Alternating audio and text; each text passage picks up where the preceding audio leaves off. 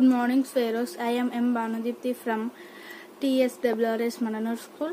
Today, I am participating in Anveshana program. As a part of it, I made a solar system. Let's look it. Eight planets in the solar system, and also have one big star that is called Sun. Mercury is the nearest to the Sun, Mercury is smallest pla- planet in the solar system. Venus is the brightest, hottest planet in the solar system. It is second nearest uh, planet to the Sun. Earth, Earth is only live, live in life. Hmm. Earth have 71% of water and 29% of land.